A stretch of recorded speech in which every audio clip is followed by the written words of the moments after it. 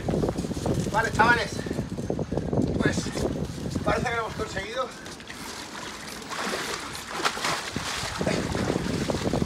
Parece que lo hemos conseguido. Pero teníamos una maza para apretar y al principio con un destornillador no he podido hacer fuerza para apretar los speeches. Y con un sargento le hemos metido fuerte y al parecer está todo solucionado.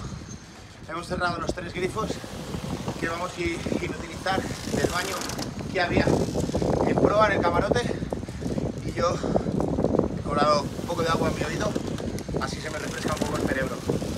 Muchas gracias chicos, vamos a meternos en el interior y a seguir con esta aventura de restaurar el barco para vivir en un barco. Es apasionante. ¡Yuhu!